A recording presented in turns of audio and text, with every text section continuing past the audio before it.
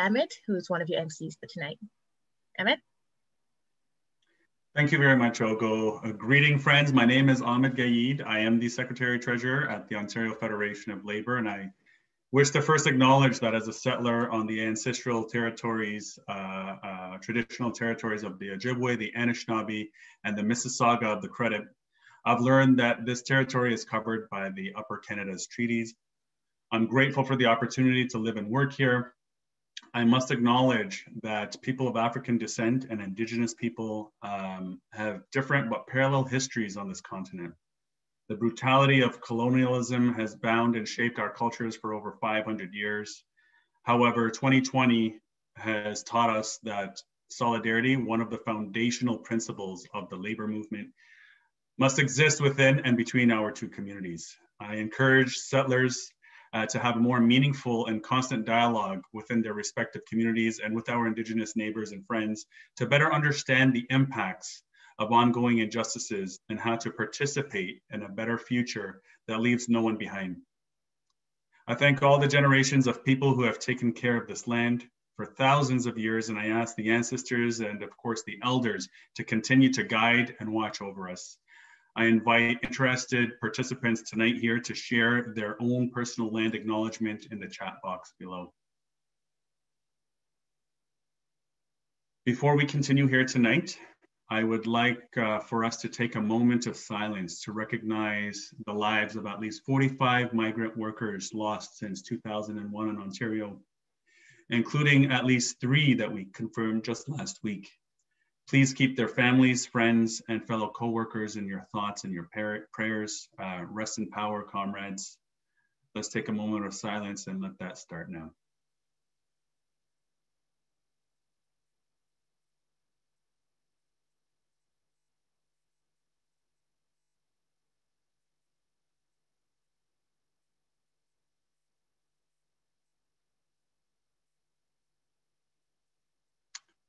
Thank you.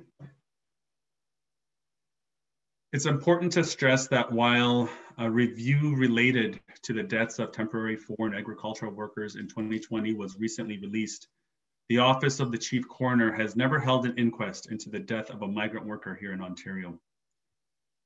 A just and fair society means that everyone in the country and in this province has the same rights. That means everyone in the country and province must have access to worker rights and protections, as well as permanent status on arrival or pathways to permanent residency, We'll expand on these options in part uh, of this webinar series. For now, I'm sure many of you will recall that uh, the recent crisis, uh, which was happening in Windsor, Essex, where hundreds of workers contracted COVID-19. Two died and many others described the inhumane conditions that they uh, experienced uh, and that they had to work in. This is why the Ontario Federation of Labour, collaboratively with Justice for Migrant Workers, UFCW, Migrant Workers Alliance for Change, the Coalition of Black Trade Unionists, and Ryerson University is pleased to hold the first tonight uh, in a three-part series on the experiences of Ontario migrant workers. Tonight, we will hear from agricultural uh, migrant workers on their lived work experience and the challenges and barriers faced uh, and that they face daily, not just in their daily job, but especially now during this pandemic, during COVID-19, as they work each and every single day to put food on our tables for our families and to feed our communities. I'm thrilled to be co-moderating tonight's event and conversation uh, on the experiences of migrant workers with my good friend and the ONDP's selected candidate in Scarborough Rouge, uh, Rouge Park for the 2022 provincial election, Felicia Samuel. Felicia sits on the Elementary Teachers Federation of Ontario Provincial Executive Committee and is also a member of the Ontario Federation of Labour Worker of Color Committee. Welcome, Felicia, and uh, she's all yours. Thanks, Ahmad. And it's a pleasure to be co-moderating with you, and I'm looking forward to this panel this evening. Every year, tens of thousands of migrant agricultural workers come to Canada from Mexico the Caribbean, and other countries to grow, harvest, and process Canadian food products. However, despite their tremendous contributions to Canada's food sector, some migrant workers experience mistreatment by employers and endure other forms of abuse. As some of you are aware, Ontario is on the heels of a provincial election, and there is much that needs to be discussed about the groundwork we need to lay to ensure that by 2022, we have a government that is committed to transformative change and takes action to challenge injustice and address barriers for migrant workers. Before we begin the conversation, please note that the Ontario Federation of Labor is committed to providing an inclusive, positive environment at all Federation activities and ensuring that all individuals are treated with respect and dignity. The Ontario Federation of Labor does not condone or tolerate hateful messages from attendees that are racist, sexist, homophobic, transphobic, or ableist, nor any language that is discriminatory or violent in its intent. As such, we reserve the right to expel any attendees from our event that contribute to this type of behavior. A link to the OFL equality guidelines has been posted in the chat for your reference. Thank you for your cooperation. Back to you, Ahmad. Thanks, Felicia. Um, we'll go to a brief video that uh, uh, we'll watch together.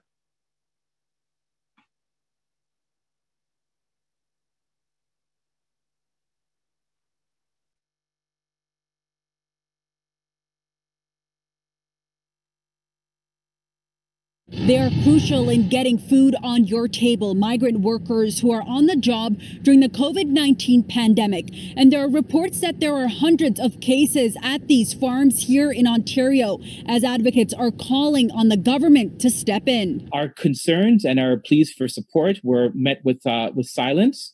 And uh, this is as a result of the last couple of weeks, we've only seen a, a, tremendous spike in the cases of agricultural workers in general, but specifically migrant agricultural workers. According to Justice for Migrants, 442 farm workers have contracted the virus.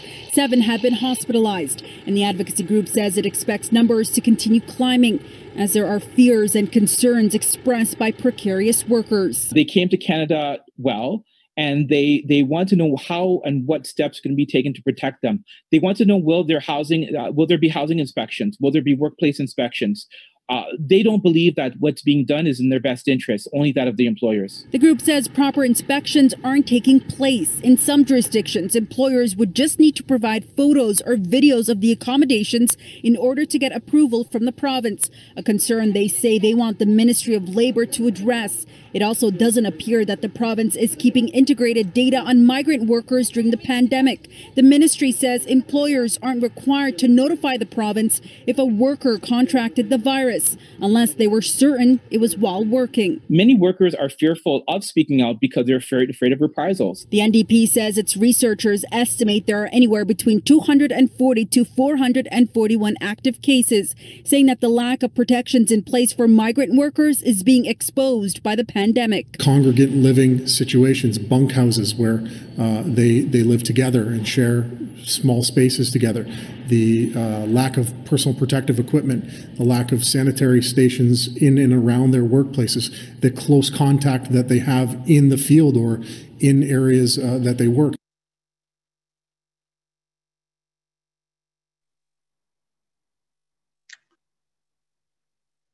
So there you have it, folks. Um, it's no longer a secret that for decades, Canada has been built on injustices against Indigenous people, against the Chinese uh, and the railway workers, and now migrant farm workers. The harsh reality is under Canada's near 55 year old seasonal agricultural worker program, migrant workers are being dehuman, dehumanized and exploited. While migrant farm workers, for instance, are here to do jobs Canadians do not want to do, they have no rights, no status, and no choice but to be tied to a work permit to one employer. The system is carefully designed to create fear rather than build an environment of hope and equality and fairness. And uh, it, it pains me to say that. With that, um, perhaps uh, I'll flip it to Felicia to uh, introduce our first panelist of the night so we can start talking about some of these injustices and experiences uh, and hear firsthand from migrant workers. Felicia? Thanks, Ahmad. So it is my pleasure to introduce Tracy Ann Hines. Tracy Ann is a former migrant worker and active member of Justice for Migrant Workers. She has been active in community forums, panel discussions at George Brown College, Toronto College, and general discussions about the intersection between gender, gender and migration. Tracy has also participated in additional meetings with co-chairs of the Changing Workplace Review and has been part of various press conferences to convey the reforms needed to help vulnerable workers in Ontario. Good evening and welcome, Tracy. In 2012, farm worker and activist Gabriel Allahdua received an opportunity to work in Canada as a migrant farm worker. It was a welcomed opportunity for Gabriel, who was left unemployed and with a young family to support in his home country of St. Lucia after a severe hurricane destroyed his livelihood in 2010. Gabriel, welcome. Thank you. Alvaro Gutierrez is a migrant worker from Mexico. He arrived in Canada in 2015 under the Temporary Foreign Workers Program to work in a greenhouse in Windsor, Essex County until he left his former employer in 2020. Alvaro has been advocating for human and labor rights of migrant farm workers in Southern Ontario. Welcome, Alvaro. Keisha Marshall is a migrant worker from Barbados and has worked in the hotel sector when she arrived in Canada. Keisha works uh, with Justicia to advocate for safe and health, uh, healthy and equitable working conditions for all migrant workers across Ontario. Welcome, Keisha. And of Thank course, you. yes, welcome. And of course, welcome to everyone attending here tonight, all of our participants uh, who've uh, taken the time out of their, uh, their afternoon and evening to join us here for this important conversation. Thank you for joining. Please note based on their comfort level. Some of our panelists uh, will um, uh, panelists will and OFL's commitment to providing a safe and working uh, a safe and working space for dialogue.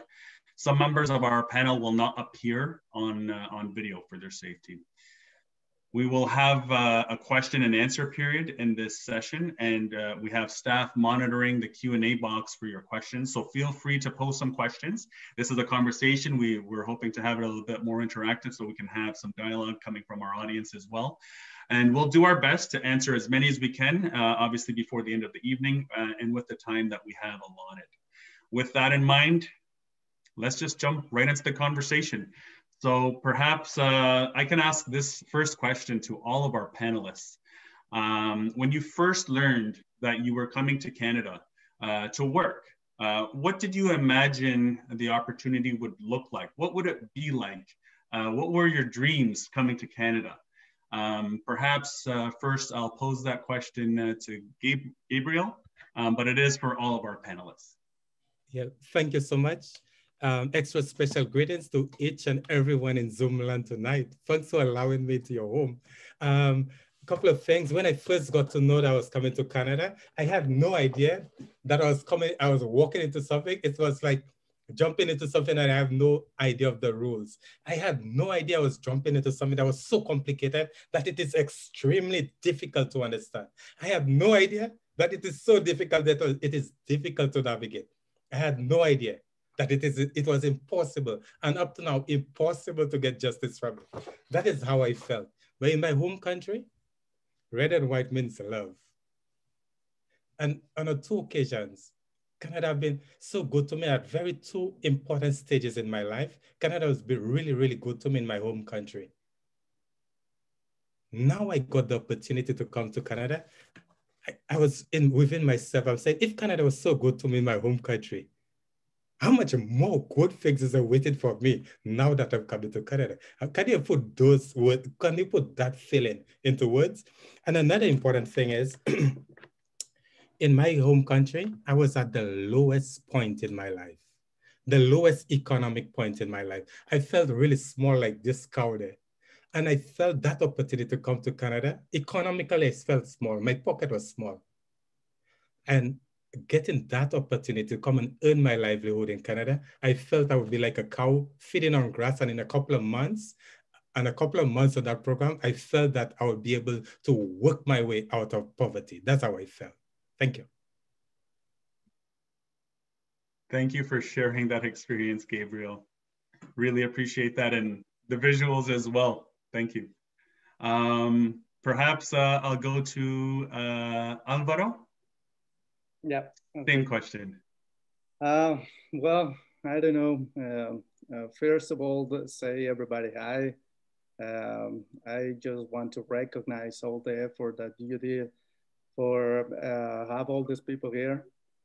Um, I think it's time for share uh, all this experience. Um, I'm still learning the, the language, so I, I, need to ask you patience for um, a couple of things, but uh, I'm trying. And, and I, uh, uh well, just to say that uh, all, the, all the dreams and all the things that I've been thinking about Canada,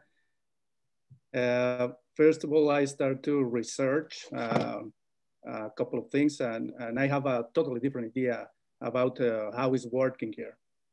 So uh, eventually I find an agency and, and came to Canada and uh, nobody told me never what kind of work uh, I was, uh, I'd be able to do in here. So my experience, it was totally uncomfortable, you know? But in my mind, I, I was thinking in my family, in my daughter, the um, the uh, the conditions of the the life in, in, in Mexico. It's so so complicated right now for for the woman, and they are being disappearing. My daughter, it's uh, it's just so beautiful, and I decided to sacrifice everything and and try everything. Uh, it doesn't matter if, uh, if these things uh, going uh, against me. So uh, I came in here and the first thing that I feel when I start to work in the greenhouse is was, well, I, am in jail and uh, stay in that way for uh, four years and uh, a lot of stories of abuse against me, against a lot of workers. And until I said, well, uh, I need to do something else. And well, that, that, that was my first experience uh, with Canada. And I'm trying to every day uh, be better. Uh, right now, uh, I really appreciate uh, the light outside right now in my home. I really appreciate that my daughter can go to school. Um, but never nobody uh, give me anything, no, even uh, little advice or how to do it when you came in here. So it's a, it's a complicated way. And all the workers inside the greenhouse are suffering the same conditions. Um, I was living in there with 30 people. Uh, sometimes I, I live with uh, six people in the same room, very small rooms. So uh, that is just one idea. Uh, what is um, what was our chances uh, when this COVID came to Canada and started to spreading around it? So that that was my my first impression. Sorry. Thank you, Alvaro. And uh, I understood you perfectly. No apology necessary for your English. Uh, you speak better English than I speak any other language. So thank you for that. And thanks for sharing that experience, uh, you know, coming from one difficult situation um, into what you thought might be a better situation, but what proved to be another difficult situation. So thanks for sharing that uh, experience with us. Uh, perhaps I can go to uh, Tracy Ann. Same question. When you first learned you're coming to Canada uh, to work, what did you imagine the opportunity would look like when you arrived to work here? Good evening, everyone. Growing up in my country, I had a rough life with just my mom and my two siblings. I was working in a in a pharmacy and I couldn't even save toward building up my future or even upgrade my education because of the because of the cost of high living. In 2013, I received the opportunity to come to Canada on the seasonal program for two years.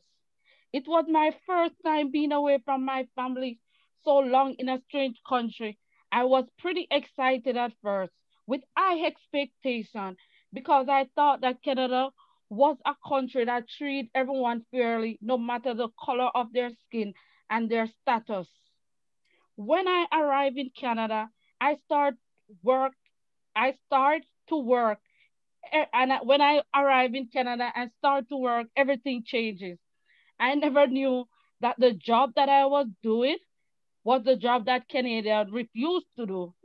I would be living in a small little room on a bunk bed with six female with only one washroom and one cooking stove, working 10 to 15 hours in a warehouse, packing, labeling, and keeping, clipping vegetable stems during nights while Canadians are in their bed sleeping without any day off, working like a robot machine and such. And so that when I am moving, when I am moving slow from the employer, as a migrant worker, you are classified as low standard people, look like a trash because of the job you are doing. You are the one who made the sacrifice to leave your family so you can able to support and provide for, for your family. Missing out a lot of your kids growing up and ensure that food and vegetables are on Canadian table. And yes, still you are treated as slaves. When I got injured because of the constant repellent work I was doing on my right arm, I, during that process, I felt all alone to fight on my own in a strange country. As a migrant worker, you don't have the right to speak out or even complain about your injury that occurs on the job. You are doing, you are doing from that moment. And when you when you when you complain that moment, you will have an army to fight against you. You will be quickly sent packing to go back to your country. And sometimes, sometimes I wonder if the employer work with the airline because how quickly they send you on the plane. There is no protection from the government for us as migrant workers. Time after time, workers are injured, even refuse to do unsafe work, and they don't even get a chance to tell their story because they are afraid to speak out and they are not getting the chance to return on the program. Thank you. Thank you so much for that, Tracy. And, and of course, again, it, Canadians, we like to pride ourselves on the fairness and the equality and so on uh, that we uh, we experience here in this country. But of course, Tracy Ann, you experienced something else. You experience some inequalities based on your race and other experiences. So thank you so much for sharing that. Uh, we truly appreciate your experience. And uh, we all know um, how important the work that uh, migrant uh, workers do that when they come to this country. Um, so thank you very much for what you do. Uh, and of course, Keisha, uh, I'll give you the opportunity to uh, answer the same question. Hi, good night. Can you hear me? We can hear you, Keisha. Good night. Hi. For me, my experience where I was already working in the hotel field. So I meet the nicest of Canadians down here in Barbados. And when I heard about the opportunity, one of my friends mentioned it to me. So she asked me, Keisha, you don't want to go and apply to this program to go on the Canadian program? So I was like, no. But then I still went ahead and apply. I meet the nicest of recruiters, well, so I thought. I get recruit onto the program. Everything was good. I was like, oh my God, opportunity to work in the country, an international country, quite always in love with Canada because I came down there in 2008. So I was always in love with down there. was always like, yes, let me jump to this opportunity.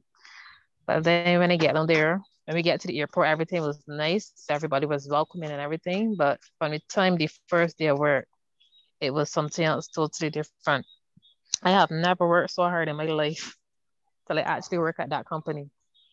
And for me, it feel like we were always given the most because we were known as the best workers. So all the things that the Canadians were refusing, we were getting. And it was a horrible experience, at least this time around, because it was down there from the 2018 program into the 2019. And then it came back again from 2020 into the 2021. But I leave before the program was over because of COVID. So it was a horrible experience to me. From the way that we were treated, like, and then maybe speak out against it is like, no matter what you say, nothing is getting done from staff housing. Staff housing was horrible because we were we were supposed to be sharing rooms and so, and the condition maybe first getting to the staff housing the first night it had like rat droppings in the staff housing it had drink stains all over the ground the couches and things were stained up and different things and we complained about those and we were here oh the room was inspecting already before you guys come down i'm not sure what type of inspection was that and then from there i i asked like a couple days after I told the lady, well, I'm not sleeping on a bunk bed. I'm a big person, so I'm not sleeping on no bunk bed. I too old to be sleeping on a bunk bed. So after I complained about it, she told me about go ahead and sign my paperwork and so on. I went ahead sign the paperwork and so on for the staff housing and so. She told me something's going to be done, but nothing was ever done. So after COVID was about to hit, then I asked to come home because the company provided the transportation down and up. So I asked to come home and the lady was like, no, if you want to leave, you have to provide your own transportation fees to the airport and then you have to provide your own plane ticket back to your island. I was like, you're serious? So then from there, it was just one big horrible, horrible mess until they leave the program in November, in December, sorry. Thank you very much for that, Keisha. Thank you for sharing your experience again. Um, you know, having some hopes of coming to Canada, being recruited to a program which you thought was going to be an excellent experience didn't turn out exactly to what you thought it would be, whether it was the, the working conditions and being overworked and your housing conditions. Uh, and um, I'm sorry you had to go through that, but thank you very much for sharing that experience. Of course, we heard from you that uh, even during COVID, the experience, yeah, the experience got worse, right? Yes. Yes, please. And I was down as I said before, on the 2018 to the 2019 program. But when I come back this time around, these people actually show you one different face. It's almost like these people just change. These were not the same people that we leave in 2019. They start treating you so bad, you can't get nothing. Every time that you complain about issue, nothing is getting done. You reach out to liaison services and nothing is getting done either. So it's almost like everybody like them in one pocket and no matter whatever the employees say, nothing is ever getting done. Thank you, Chair. Felicia? Thanks, Ahmad. So Gabriel, I have a question for you. You arrived in Canada on a typically cold January day. Through the Seasonal Agricultural Worker Program, which allows Canadian companies to hire temporary foreign workers from Mexico or the Caribbean for eight months at a time. Can you describe your immediate experience on arrival and what life has been like since then as a migrant worker in Canada? Thank you for a powerful question. I hope you give me one hour to answer that question because it's a cold January night when I arrived. But in life, I was I, I get to understand in life to make progress, you have to be uncomfortable. You have to make yourself, you have to prepare yourself to be uncomfortable, to, to bring change, to step out of your comfort zone. And that's how my day started. I got out of bed that, that day I traveled to Canada, my first time. I got out of bed very, very early in the morning, which is unusual. So I started by making myself uncomfortable.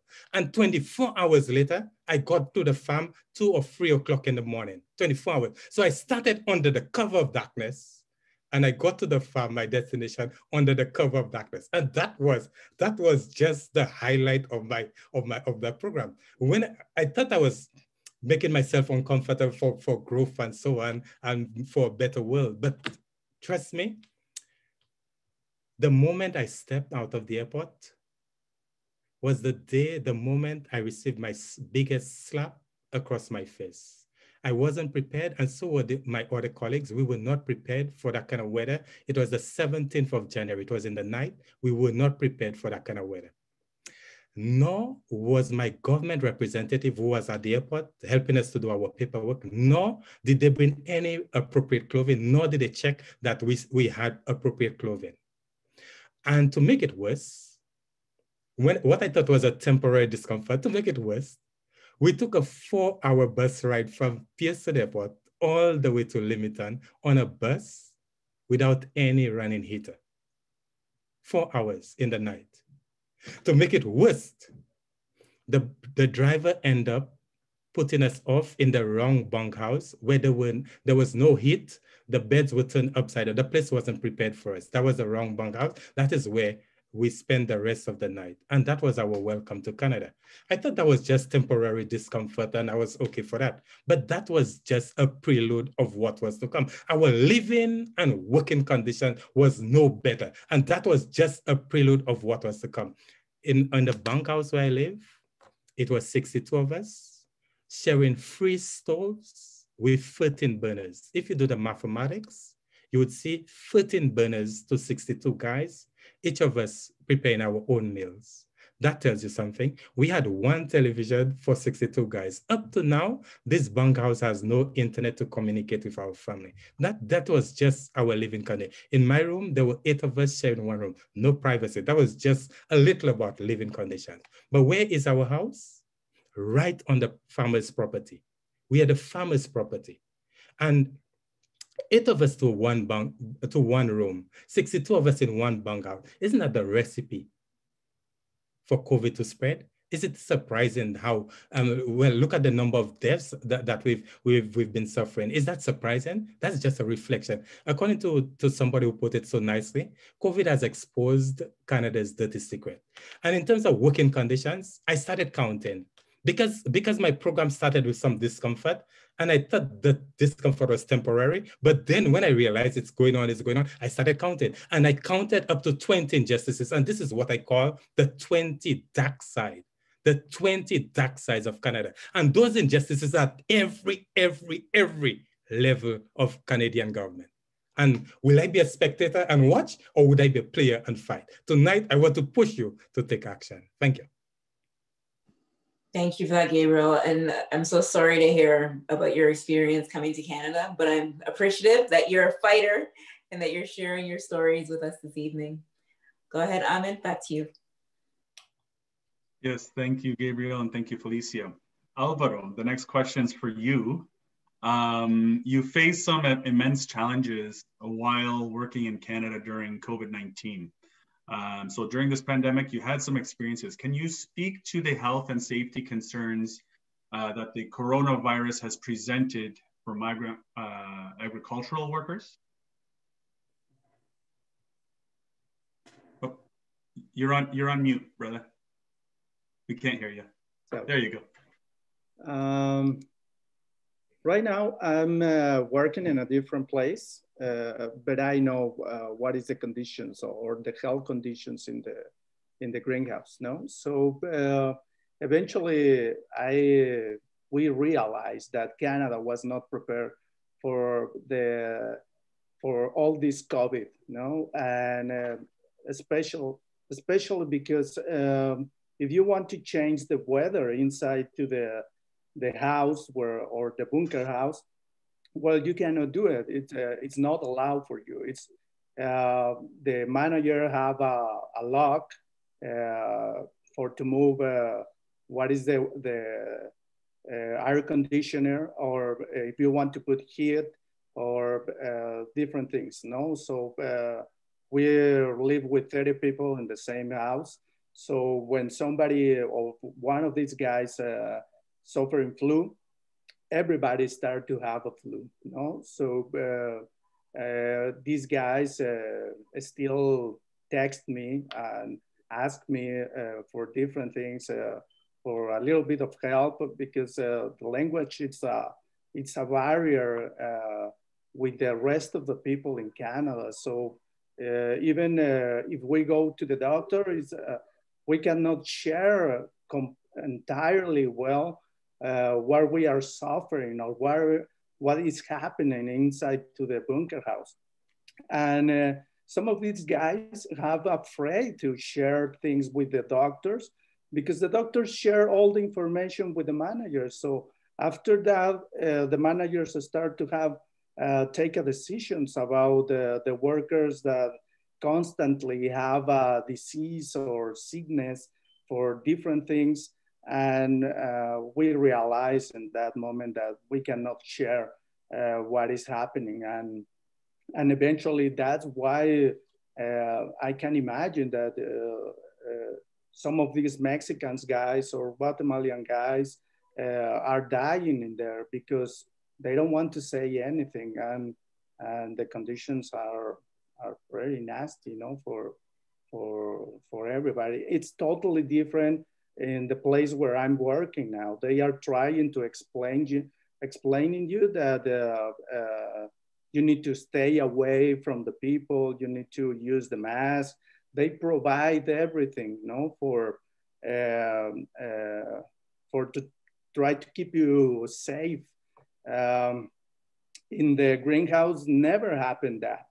Uh, always, uh, if you want to ask for a mask, well, there's that goes against you because it's uh, the manager start to think that you are one of those guys that's, that complains for everything. Uh, sometimes you need gloves and you cannot even ask for them, no? So uh, what is going to happen if uh, this principle, this PPE is the, the first thing that you have against to the COVID and the greenhouse is not available for to give it to you. So uh, right now we know that it's a disaster, no? Uh, the completely uh, or the entire greenhouse go to isolation because uh, everybody was sick or everybody were sick or half of the people go to a hotel for isolation and there, and then the rest of the guys go for isolations because, because several of those guys are sick, know? So you just could imagine uh, what is all this, when you mix all these situations uh, and you put in the middle of the the middle the virus. No, it's a um, I don't know. It's a completely disaster. Absolutely, and uh, we think it's absolutely shameful that you know uh, an employer who uh, is putting you in some working conditions where you can't change the temperature um, and you know they're you know, be getting information from the doctors that are helping you try and stay healthy uh, are sort of uh, punishing you or have some consequences uh, based on if you ask for personal protective equipment, if you ask for a mask or gloves. Uh, that's absolutely shameful. It's shameful that uh, they are thinking that people are complaining that you go to the doctor to stay safe and healthy so that you can continue to work. Absolutely shameful. Thank you for sharing that um, experience with us. Again, I have a question for Tracy Ann.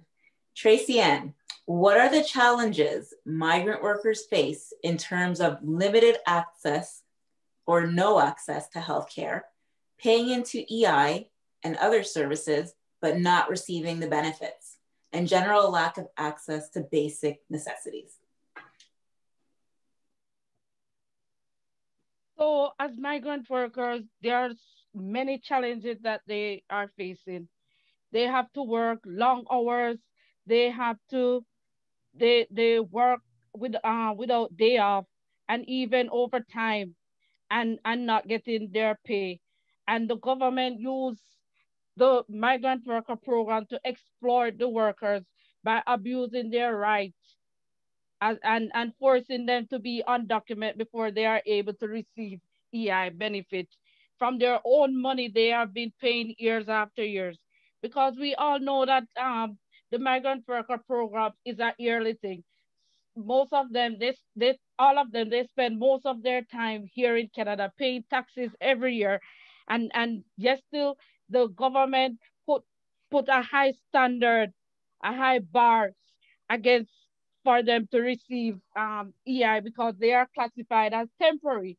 And we all know that temporary is something that's not going to last long. So they are not Canadian or permanent resident, they are temporary. And even during this COVID pandemic, a lot of workers, they are greatly affected in right now in Canada and even the workers who are in their own country who do they get the opportunity to come back because of what is going on even now. And yes, still even in that time, the government don't, don't try to access that money for them because you know a lot of them they come on the program because they don't have any work in their country. No one is not gonna just leave their family and come to a country to work. You come because you have a need. You want to able to support your family. So you made that big sacrifice to come here to work. And yes, still you you don't get the the the money, the, your own money that you have been paying years after years. So my understanding is, I know there are so many Canadians even here who some of them don't they don't even work from their barn, and yet still some of them they are able to access that EI, and migrant workers they are not able to access this. They put up big barriers for them not to able to access this. Even when you get injured, you and your health card is cut off and you're not able to get quality health care because when your health care is, is cut off, you're left all alone. You're not able to receive WSIB. And many of the workers, they don't even get the chance to even go to see a doctor. They are quickly sent home. So what about those people who are back in their own country or even those who are here who is trying to able to, to get healthcare coverage? What about them? What are what are the what are the the what the government is doing to to make a change for those people? Because you know that um every year you always have persons dying because of unsafe work and I, to me it's sickening to know that every year you heard on the news another migrant worker another what are they doing to try to prevent all of these from happening? And um and even in this time where you know they they they normally would be here in canada because of what is happening why is it they're not able to access that money? Because they would have get the opportunity to be here but because of what is happening they're not. So why is it it's so hard for them to able to let them access that money that they have been paying year after year. Thank you. Thanks, Tracy. You made Tracy and you made so many great points there. And really the question, what is the government doing? There are so many gaps here that need to be addressed. And again, we're coming up to an election. So definitely some topics for discussion and for us to push back on in support of you all. Thank you. Thank you. Um, next question, we'll go to Alvaro. Um, you alluded to the fact a little bit earlier, you've changed jobs. So having worked in agriculture and now in a unionized workplace, what is the difference you've personally experienced? How would unionization help migrant farm workers improve their precarious conditions or their poor working conditions? Well, it's, um, it's totally different. What is uh what are the rights that the Canadians have and, and what the rights or no rights that the, the migrant workers have inside to the greenhouse. So uh, it's, uh, for example, uh, you have a day off uh, uh, in the greenhouse. Sometimes they give me a paper that they want to sign and that say that I'm just uh, uh, renounced to my day off uh, during the week. Uh, the first time when I came in can Canada, I never have a day off during the first six or seven months. I was working with, uh, with cucumbers and uh, the, the cucumbers, you know, uh, need to be, you need to harvesting every day, every day, because the cucumber requires a special size for for for the packers. And if uh, you don't uh, harvesting that cucumber, uh, the next day for them is garbage. So they are specialized in the aesthetic, even in the aesthetic of the of the cucumber. No, so uh, uh, that is not that that not happen with the with the workers uh, in Canada when they feel sick. They just call and say, "I'm sick." Uh, some of these uh, unions have, uh, you can use your, not just your health card, even they can give it to you for fix your teeth or they can give you massage or they can give you provide you for for a different things. And that kind of things uh, the migrant workers doesn't have no uh, one day I wake up and uh, I was thinking, uh, bring my family, and I was thinking uh, probably I need to buy a car because everything is too, too expensive in here. And if you want to move from one point to another and you spend your money in taxes, uh, well, it's, uh, it's a lot of money. So uh, I was thinking in that. And I think that the manager at some point figured out that I was trying to do that and stick a, a, a like a flyer saying that uh, it's not allowed for, for the migrant workers have car. So uh, that kind of things goes against to, I don't know how many rights, no? So uh, it's, and uh, I think uh, the owners, they know what is happening in there and they know that they goes against to the right of the workers and uh, but they do it because it's allowed that the uh, for the way that they bring bring us to work here in Canada. Because you have a, a work permit that uh, uh and you uh, stay uh, you are tied to the owner you know and if you don't like it that work well you cannot just jump with another with another owner. So uh, these kind of things for that little experience, you cannot do it with, uh, uh, don't happen to the Canadians, no? If they don't like it, they say, well, I just can't just jump to a different job or do something else, or I'm I have different skills. I'm uh, and I can say, well, I can do something else. That that little things don't happen with the migrant workers. Even if you have if you know a different language, it's like a threat for, for the owner, no? That depends how the owner think about you. If the owner said, well, probably this guy, I, uh, I can have it to my side, it's good for him. But if not, um, probably it's a big, big threat, no? Even, um, well, that it is. Thank you for that, Alvaro. I, I heard you mention like your employer in agriculture, you know, while working non-union, of course, is prioritizing their business, prioritizing the size of cucumbers, trying to make you sign off your rights so that you would have to work pretty much every day of the year, right? Like that's uh, that's kind of scary to hear those types of things. So, of course, it sounds like working in a unionized environment much better for you you have some health benefits that come along with that that get negotiated and other uh, other benefits i'm sure that come along with joining uh, joining being uh, having representation. So so thank you very much. Keisha i have a question for you now. Uh, your experience is actually as a worker in the hotel sector. Can you speak to the working and housing conditions you faced when you arrived in your place of employment well, for me, my experience was we were living, it was this year, it was only 10 of us that came down this year because the other set was supposed to come down after us. That was supposed to be 30 more employees, but because of the whole COVID, that it was dragged on for a little while. So then come down in October 20, 2020. So at one point, I complained. I was the only person, me and a younger person that was in the unit with me. We were we were the two that were given bunk beds.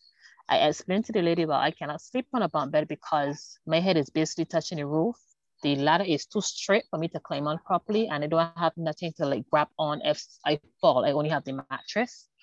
So the lady told me, well, there's nothing that she can do for me. And I don't understand that because how you telling me that I'm paying rent and there's nothing that you can do for me?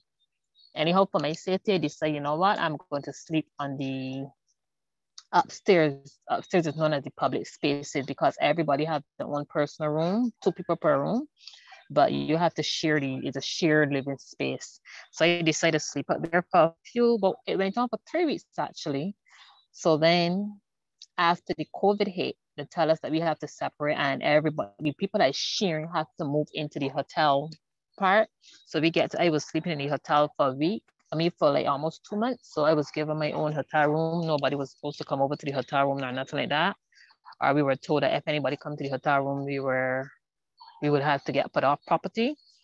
So at least we don't have that much people in the, the housing. We had like, this time around was 10. Last year for me, it was eight. But some others had like 12 people living in the staff housing, up to 11 sometimes. So it wasn't as packed as the other guy Gabriel was speaking on earlier. So at least it wasn't bad. And we were housekeepers, so normally we used to clean it behind ourselves and we try to keep it as clean as possible and so. So at least it wasn't bad to some points, but nothing that you complain about, like eh, having issues in your house, nothing is never done. Thank you for that. And it really is important for us to hear what the living conditions are like for you all. You all are coming here and doing some important work for us. You're helping us put food in our mm-hmm. tables, and you barely have a place that's comfortable to sleep. No, because to me, I was not sleeping comfortable because I live Barbados, Barbados, so I didn't have anxiety. I live down there with anxiety because you know you're stressing. You got we were working like at some point because a lot of Canadians were still home. So we get called back up before the Canadians. So for some reason the hotel was booked because everybody in it just couldn't wait to get back out after COVID. Well, during COVID. So they just wanted to get away from the house for a few days. So the hotel was packed. So some days we were working six days. We were rostered to work six days. And sometimes we start work from 8.45 in the morning and all six o'clock, seven o'clock, we still at work working. So after working such a long day, all you need to do is come home and have a proper night rest. And that is something that I wasn't getting when I was there. Yes, you call, you go to the employer, well, you know that I'm working hard and all you're hearing all the time. Oh yes, we understand that you guys work hard. You guys are good workers. So if I'm such a good worker, why I can't get someplace proper to sleep. If you ask, say, well, your bed is too hard or something, so you're gonna hear, oh, you have to go online Walmart to get something for your bed. Everything is online Walmart. Nothing is never ever done. thank you for that additional input and information. And again, it's a lot of talk saying what you do matters, but the actions and showing you that are not lining up. And that's something that needs no, to change. No, no, never. Not from this company. Okay, Ahmad, you can ask the next question. Thanks. Thanks, Keisha.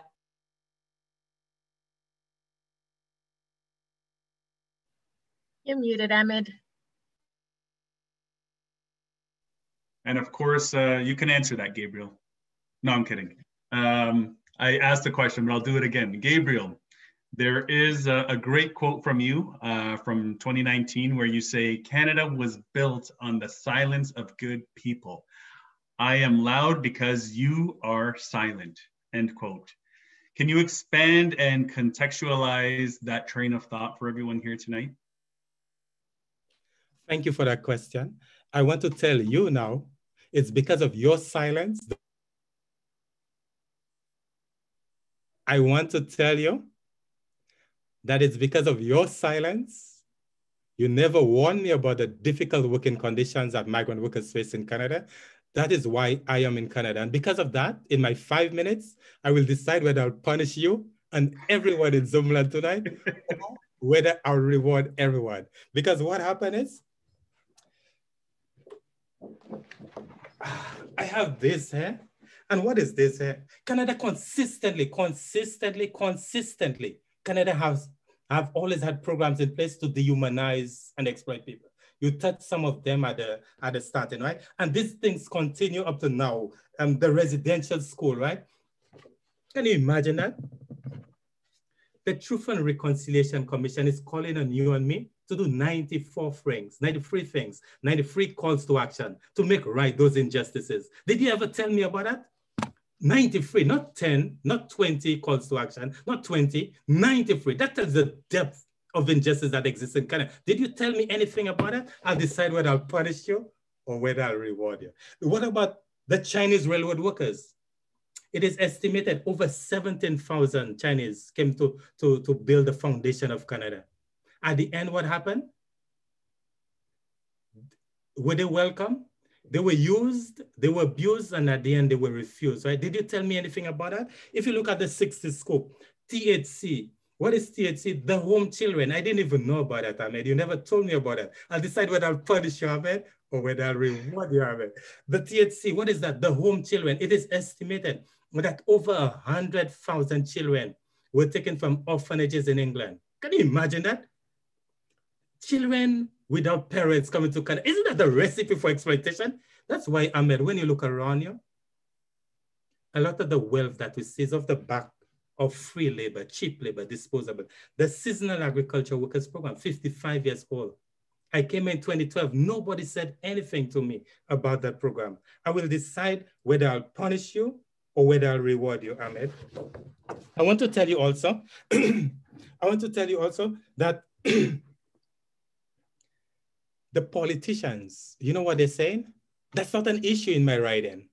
That is not an issue in my riding. Nobody's calling them up. Why is that so? Because why is that so? When we buy local, when we buy local, we're forgetting that the people who produce our fruits, the people who produce our vegetables. And when you go to Niagara Falls, the wine that you drink, Ahmad. And when you go to PEI, the seafoods that you eat, Ahmad. Once migrant workers are involved, there are 20 injustices. But what, what does that say? You only see the nice fruits and nice vegetables. But what you don't see that the whole program, the program that brings us to Canada, it is built on fear. There's a lot of fear built in there, a lot of fear built in there. And I can tell you some of the cases of, just one example, I think Tracy touched that. It's so easy for them to put us on the next flight back home. Can you imagine our employers? Our employees, they own the travel agency that's booking our flight in and out of Canada. Our employees are literally CBSA there's a lot of fear. The moment you speak up, they send you back home. Now listen to that. To make us compliant, to make us compliant, they use fear and so many other things. Where is that happening, Ahmad? In the US or in Canada? Right there. And what is Canada known as? Canada is known as a country with a culture of silence.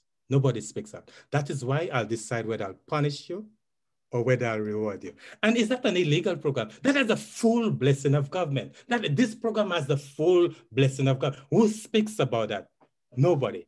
That is why I'm so happy to be on this program because of as a result of this program, people are getting to know. And again, because of COVID, Canada's dirty secret is being exposed. I want to thank you. Thank you so much for that, Gabriel. And I hope, I hope, I hope I don't receive the wrath or the punishment you uh, you mentioned. I hope that uh, we're rewarded, obviously, by having these difficult conversations, listening to these experiences. Of course, not just the experiences of migrant workers during this pandemic, but all the experiences and all of the historical atrocities that have happened here in Canada. These are things that we need to talk about, and I am um, you're right on point with pointing them all out. Um, you know, an, another quote or a, a phrase I've heard before, Gabriel: "Silence is violence." If you're if you're not going to be vocal about something, um, you are complicit. So thank you for pointing that out, and uh, I hope I hope we all get the reward. Another phrase that uh, we say in the labor movement: "Injury to one is an injury to all." So we don't want to we don't want to injure anybody. um, but thank you very much for that, and uh, I, I, I I can't say enough. I like how uh, you present um, and uh, you share your experiences and the visuals. Felicia yeah, I have to concur. As a teacher, Gabriel, I really, I really appreciated the visuals. So thank you for that. Thank you for educating us, re-educating us on our history. Thank you. So um, we've been uh, we've been monitoring the chat box tonight, and I know it's been busy in there. Uh, we've had our whole team sort of looking at questions that are coming up and whatnot. So we're going to try and get to some of those. Uh, I know some of you have some, some important questions to ask our panelists. Uh, so perhaps um, I can pose some of them. Some of them are directed directly to a panelist and some are just more broad if anyone wishes to answer them. Uh, but maybe we'll go to the first question here. Um, would it be helpful uh, for migrant workers in Ontario to have a, a website uh, with all of the information about their employment rights, about the, a health card, housing, etc. If there's one central hub, one place that migrant workers uh, that are coming to Canada can sort of click a button and go to, would that be helpful?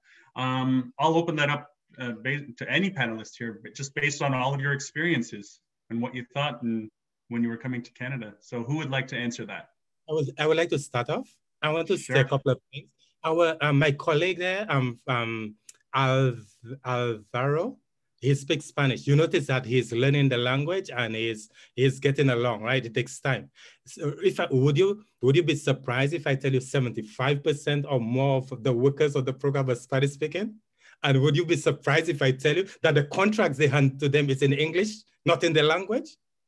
What would a, a website do for these workers? It is, it, it, the system does not cater for us, right? And also, I need to tell you, a lot of the other workers, even the English speaking workers, even in, from me, I'm from an English speaking country.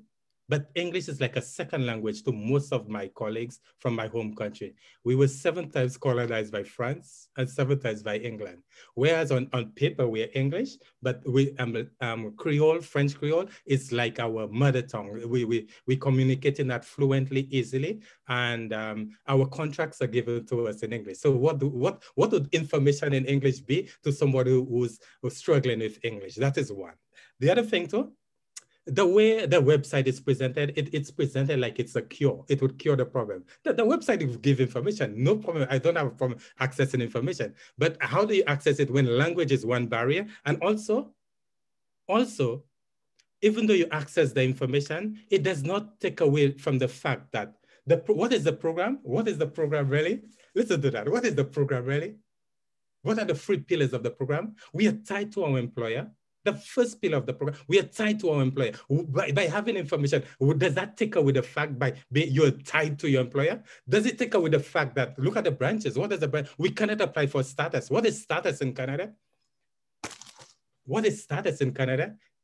Status is if you do not have status, it means that you're to be denied. Not having status means you're denied basic human rights. If you don't have status, you're denied basic labor standards. So to be tied to your employer, to be denied basic human rights, denied basic labor standards, and above all, above all, to do their dirty jobs. That is what it is. So would how would a website get to the root of that problem? And what is the root of, of the problem? It's that the if the, the root of the problem is P, P, P. Our poverty in Canada is because of the unjust policies of the politicians. As as far as I'm concerned, the website would help, but not, it is like a band-aid. It does not get to the root of it. The root of the, the problem, the root solution, the cure for all, our Tylenol, our Advil is status. If I have status, it means that I have an open work permit and my employer would now know I have an open work permit, I can get a job anyway. So the pressure is now on my employer to create the conditions that would attract me and keep me. But to have a worker that's tied to you without and that's been denied basic human rights, basic labor. What is that? That's a recipe for exploitation. And I do not see how a website would get to the root of it. It would be like a band-aid. And I would like to push everybody to take action to get to your politicians to just to change those unjust conditions. Thank you. Thank you, Gabriel. You make so many good points there. Um, it's one piece of the puzzle, it sounds like you're saying, but it's not a solution. It's not a solution by any measure. Um, perhaps more resources are needed, language, uh, people, resources, places, etc., that they can reach out to to help them read contracts and stuff like that. Sounds like there's much more to this than uh, uh, than meets the eye. And you alluded to something that leads me to the very next question. Uh, perhaps I'll ask one of the uh, other panelists to expand on this. So migrant workers basically speaking, are like probationary workers whose probationary period never ends. So should status, shouldn't status be given to uh, these probationary workers at some point when the probation ends? Um, so I think you alluded to that fact already, Gabriel. Maybe I'll ask one of the other panelists to see what they think on that.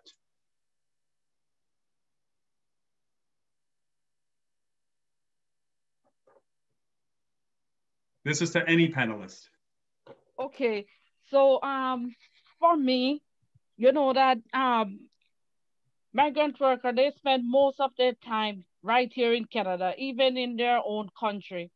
And for them to have status in Canada, that should be number one priority because um, they're here paying taxes and, and, and basically living in living here in Canada.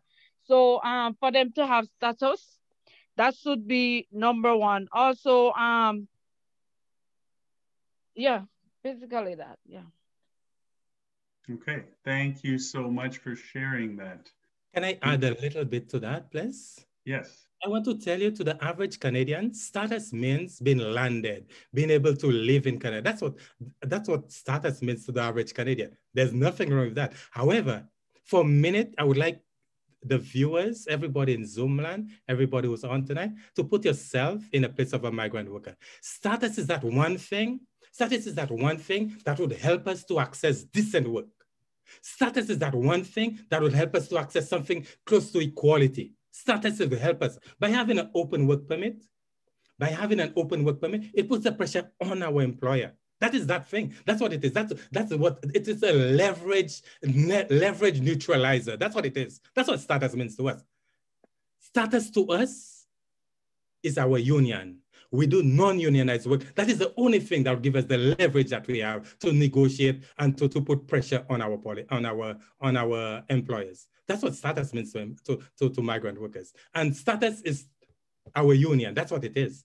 And that is what the average Canadian do not understand. They only see it as, oh, a pathway to citizenship and so on. Yes, it is true. But the work part of it, the, the, the, the fact that we are denied basic human rights, basic labor standards, that is that tool. Status is that tool that would help us to access that. Thank you. Thank you, Gabriel. Anyone else want to expand on that? Go ahead, Alvaro. Yeah, um, I think that the, the status is uh, it's very important because around the status, uh, we are creating um, social relationships that uh, it's giving form uh, all the problems that that we have right now in, in Canada, you know, uh, as a migrant workers. Um, but even uh, the unions need to present uh, a different effort uh, uh, and not just the status. So I don't know.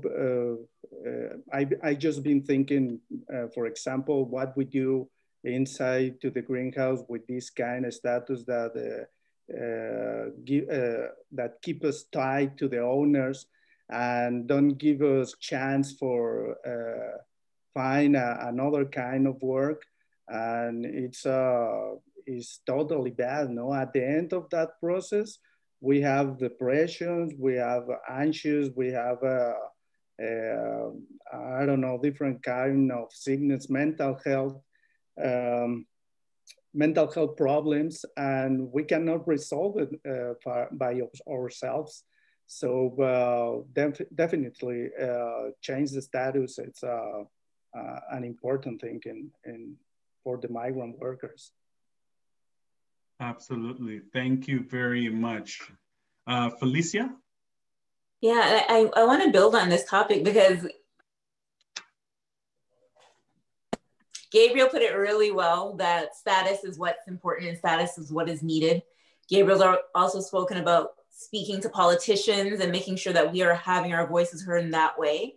And Alvaro, you said it really well. Unions need to do more in terms of how how labor supports migrant workers, how labor can support change in working conditions.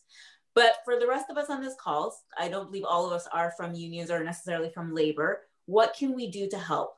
Um, what's the most important thing that we can do right now in terms of helping you with basic needs? Things like PPE, clothing, work boots, shoes, hats, culturally appropriate food, is there anything that you all can share with us that we can help you all with at this point in time?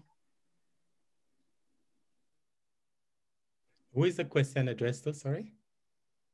Anyone, give me. You usually jump in first. You go ahead. if you have an answer, go for it. we gonna talk about that if I don't use my props here right now. Because tomorrow is a very important day. Tomorrow, the, the, the government is gonna open a new door, right? What is that new door? 90,000 people, right? Isn't that a great thing? 90,000 people. In a, after a year of COVID, where they said they failed, they did not meet the, the quota of, of um, immigrants, right? But they were 90,000 migrant workers. What is 90,000 compared to 400,000? This year, I, I, think in the next three years, they said they're aiming at 400,000, 400, so 1.2 million in the next in the next three years, right? So what is 90,000 compared to 400,000 in one year? And knowing that the year before, they did not meet their quota. What is 90,000? But let, let me, let us, let us examine that a little. Out of the 90,000, the government is saying 40,000, 40,000 students. How many students come to Canada? I'm not sure. But out of 90,000, 40,000 would be for students. Okay, that leaves us with 50,000. Out of the 50,000, 20,000 would be from the healthcare. That leaves us with 30,000. And out of that 30,000, out of that 30,000, over a hundred different categories have to uh, have to compete for that 30,000 spots, including migrant workers, migrant agricultural workers. 30,000, we have to compete with a hundred other categories. And look at that, these two clear cut, these two other categories, the previous one, they were clear cut. This for health people, this is for students, that's clear. But look at that, migrant agricultural workers are lost or have to compete in a pool of over a hundred different categories. That's one. Now look at look at that. What is that pool? I have all different colors there. We, we, we're all in a mixed bag, right? But look at that. Migrant agricultural workers have to meet the nine categories, the nine requirements, like all other people, the nine requirements. And you know, some of these requirements are racial. Some of them uh, uh, deliberately set the bars are, set at, at, at a level where they know that the workers will not meet it. So here's a carrot. Look, come and fight for the carrot. Uh, let me give you a simple example. There's a friend of mine. He's all the way in Windsor and he has to do the what's it called the english evaluation test i'm i'm, I'm not familiar with the acronym for that exam but he he's all the way in windsor he's never been to uh, toronto on his own and yet still the only center where he can do that exam is in barrie how does he get there when can he do that exam? All the way in June. When is the program starting? Tomorrow. And it's only a window of opportunity. That this here is clearly, is very, very clear to show how the government is stacking the cards against migrant agricultural workers. And a lot of that is based on our color. What can you do? What can you do in a situation like that? Call your politician. What can you do in a situation like that? pressure your politician What can you do? Have your friends and families to pressure the politicians. The day workers stand united, that is the day Canada will change. Are you willing to do that? And that is what, how do you do that virtually, Mr. Moderator? How do you push people to take action? I want to push people in Zoom to take action. Call your politicians, change those injustices. And those injustices at every, every, every level of government. What are you willing to do? And that is why I'm happy to be here tonight. There's a hundred and one things, but I do not want you to talk about uh, culturally appropriate food or the, these are band-aid stuff. These are important stuff. These are band, but get to the root of it. Get to the root of it. Change the system, and the system can be fair. On the world stage, Canada tells the world it's a country of love. It's a country, it's a champion for human rights, oh, diversity on the world stage, right? But I want you to remember that this red leaf in my country Red means danger. This red leaf is a constant reminder of those dangerous conditions that we face. What are you willing to do about it? Are you going to be a spectator or are you going to be a player? And I'm pretty sure if you're progressive, our tomorrow can be better than our today. What are you willing to do about it? Um, is it Napoleon who said, the world suffers a lot, not because of the wrongdoings of, of bad people, but because of the silence of good people. Are you going to wake up? Are you going to wake up? Tonight, I want you to think of ways and means to get people to take action. Because when people stand up, when workers stand up, we bring change. And the history is full of success stories. How did these success stories come about? Did you, do you think those success stories came about? Oh, the employer comes to work tomorrow and tells us, oh, everything is okay? Is that the, how we got success stories? No, by constant fight. And are we willing to fight? That is right. That is what I'm hoping to do. I don't know how to do that virtually, but I'm pushing you to take action. Thank you. Gabriel, you did it. no band-aid solutions for you. You're not having it, and nor should you. So we've heard the challenge. The challenge has been sent to all of us to speak to family and friends, to contact our politicians, MPPs, MPs.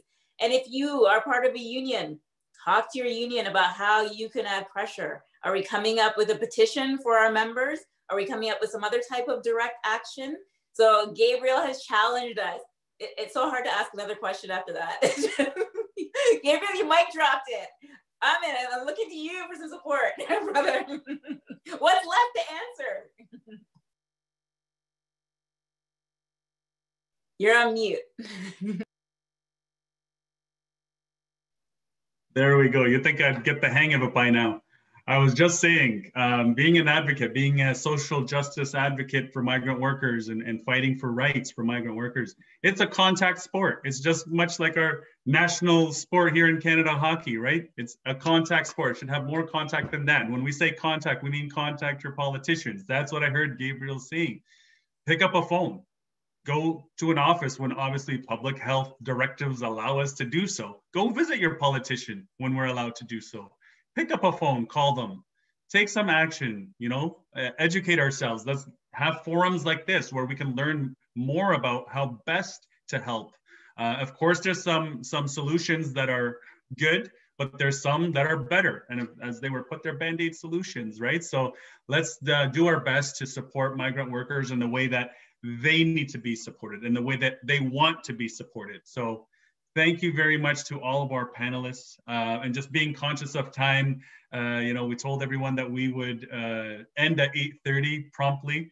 Um, so uh, perhaps uh, this is a good uh, juncture where we can do that. Um, and before we do that, maybe I'll say any final thoughts from our panelists. Keisha, Tracy Ann, Gabriel, Alvaro, anything else you want to leave us with before we uh, come to a, a, close here?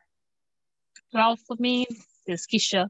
I just think it should be aware as that they should have people that are going into the workplaces and talking to like foreign workers to find out how they're getting treated and so on because a lot of foreign workers getting unfair but because that they don't know who to talk to are the rights that they have that they don't know who to reach out to because all of what I was going through while I was down there, at no point I know who I could have talked to. And it was COVID at that time. So a lot of places was closed down. I didn't know who to talk to, who I could call or nothing like that. So a lot of people need to start going into like workplaces for the foreign workers again and letting the foreign workers know about we're here for you if you need to talk or whatever the case may be.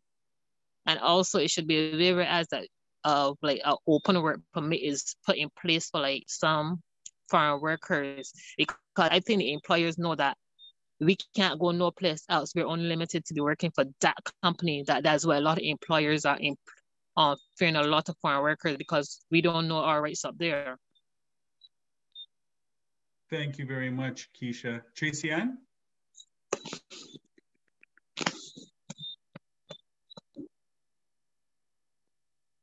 Okay, perhaps we'll come back to Tracy Ann if she wants to leave us with a final thought. Uh, Alvaro?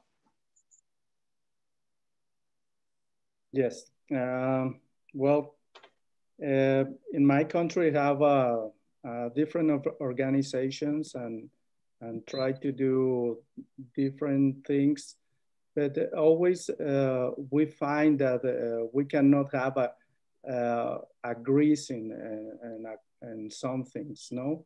So some of these organizations start to thinking into have agrees in the things that we are not agree.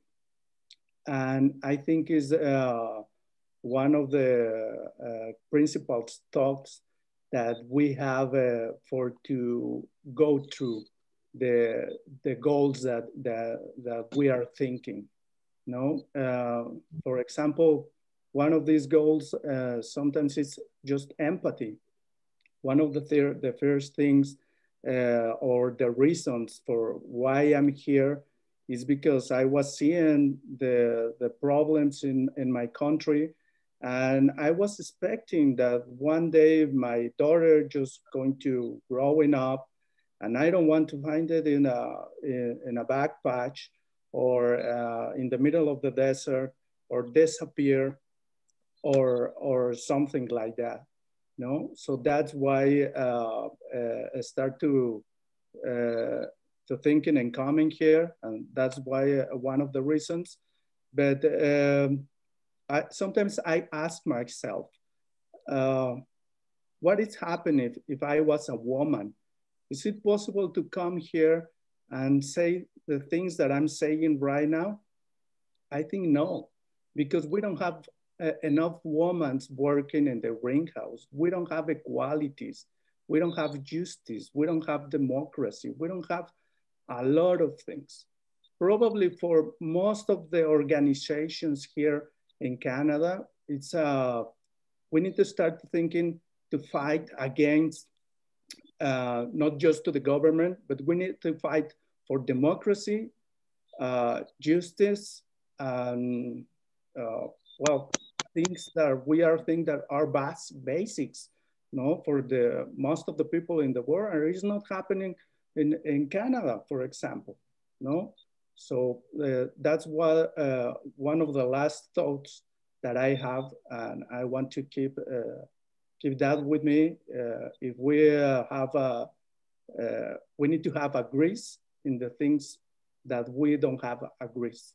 No? Thank you very much for that, Alvaro. Also, one more thing from me. I, have, I would like to say also, I think something also needs to be done about staff housing. It's not fair for you have, let's say, 10 set of people in one house and everybody's paying one set of money. That is way too much money, right? That people paying and then to be living under the conditions that a lot of people living under. That is way too much. You don't have no sort of personal space at all, no place to make a personal phone call or nothing sort of to call to your family member or something like that. Something needs to be done about staff housing for farm workers. Thank you very much. Agreed. You're welcome. Well, can I add my little my two yeah. cents? I wanted to remind everybody that the program, the Seasonal Agricultural Workers Program, it's a government gift to farmers. And I told you a while ago, we are tied to our employer, at the same time being denied basic human rights, basic labor standards. So in all, in, in a nutshell, we have been milked, we have been milked by every stakeholder in the system. Are you going to be a spectator? Or are you going to be a player? I want to tell you that there are 20 injustices behind the fruits that we eat, the vegetables are. There are 20 injustices. I want to tell you that it is only our hands, the hands of migrant workers, only our hands are needed in Canada. I want you, I want to tell you now, I want you to examine your hands. There's power in your hands as a voter. I want to tell you that there's power in your hands as a consumer. I want to tell you there's power in your hands as a human being. I want you to discover that power tonight and use it to push the politicians to create a fair and a just system. Thank you. Thank you very much for that uh, final thought, Gabriel. And I'll circle back one more time to Tracy Ann if she does have a final thought. Otherwise, we'll we'll move forward here. Yes, I am here. Okay. So, um, my final thought is that, um, I I recently I know that now they have a, a open permit for migrant workers who are being abused, um, um, in their workplace. So for me, that to tell you that the government know that migrant workers are being abused. So I want the government to, to change their the system because it obviously they know that the abuse is happening because if they didn't know they would have come up with with um the open work permit and also when migrant workers are are injured there's so many times because i have seen it for myself where workers are injured and and they they before they even get the chance to for WSIB um to get involved, they are sent back. And there should be a record of everything that happened in the workplace, and the government should be able to receive those records to ensure that um, um, injustice don't happen in the workplace. And I have seen so many times um, to know that because with me, I have seen where workers were were were injured, and when um, WSIB when they were sending um, the lab um, somebody to inspect the place, the the the the employer hire a lot of person to cover up. So for me, I think they need to stop letting the employer know when they're coming to examine the place, to examine the, the workplace, because when they know they are coming to exam the workplace, then they can able to cover the, the their um what they are doing years after years. This program has been so long, and yet still you see so many injustice. I think it's time for for for all of this to stop. We have the next generation coming up, and we don't want them to to go through the same thing that we are going through. I have a, a, a four year old, and I wouldn't want to know that when he when he reaches the age, the, these thing is still happening. And there's so many persons who know about all of this, and yet still they they are not um they're not speaking out. So um for me, I am so glad for this opportunity so that I can able to share my experience and and encourage even my own um employee employee um that they they should not be afraid to speak out.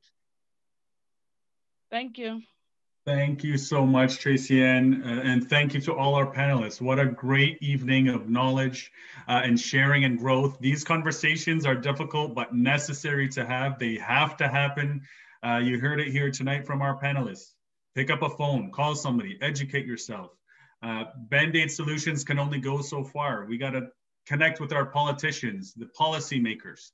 Uh, I'd like to thank our audacious speakers for guiding us through this conversation tonight and sharing the knowledge and experience uh, uh, of their work experiences uh, of being migrant workers themselves uh, here in, uh, on what we are calling modern day plantations.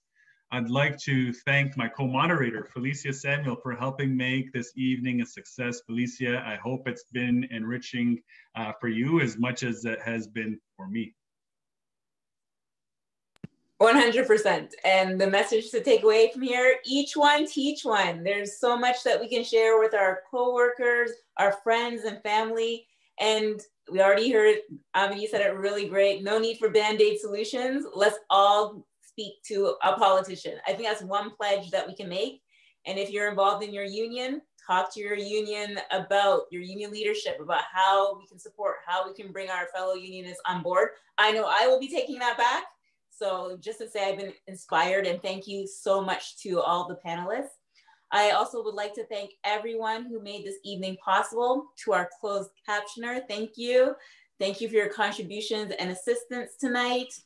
Thank you also to um, all the behind the people who did the work behind the scenes, because it's not an easy task to plan a webinar. So thank you to the OFL, Justice uh, for Migrant Workers, Ryerson, UFCW, Migrant Workers Alliance, and CBTU staff. Thank you to all the team members that made this evening successful. And most importantly, to all the participants in attendance tonight, thank you so much for joining us. We hope this evening was rewarding and you are leaving with more answers than questions. And most of all, we hope that you're leaving with that call to action. I know I feel it in my spirit. It must be the props. Thanks, thanks, Gabriel. Thanks for all of that. yes, uh, absolutely. Thanks, Gabriel, and thanks to all of our panelists and participants you're tonight. Welcome. If you if you enjoyed this session with us here tonight, part two of this webinar series is uh, happening on Wednesday, May the 19th at the same time, starting at 7 p.m., two weeks from tonight. Don't miss it. We, we're inviting you, be there, make sure you sign up. Uh, we invite you to join the panelists from uh, leading this uh, provincial migrant worker advocacy organizations and exploring pathways in uh, to eliminating uh, experiences, these negative experiences that we've heard about uh, from migrant workers from our panelists here tonight, including permanent status on arrival versus pathways to permanent residency and the groundwork that needs to be laid to remove the systemic barriers hindering migrant worker success. Uh, you can find more information on all of this um, at uh, powerofmany.ca. Um, please make sure you visit the website. Please make sure you sign up for the next event. Uh, and again, thank you to everybody involved. Uh, and thank you, uh, special thank you um, to uh, Ogo Ikalo. Uh, she opened up for us here today. Um, she makes it all look easy and makes it all look like it runs smooth. And that's because of uh, her hard work and dedication and the rest of our staff as well, Melissa Palermo. And I'm so sorry, I don't want to miss anybody, so I'm going to stop naming people. But um, thank you so much for joining us and good night. Good night. Thank you. You're welcome.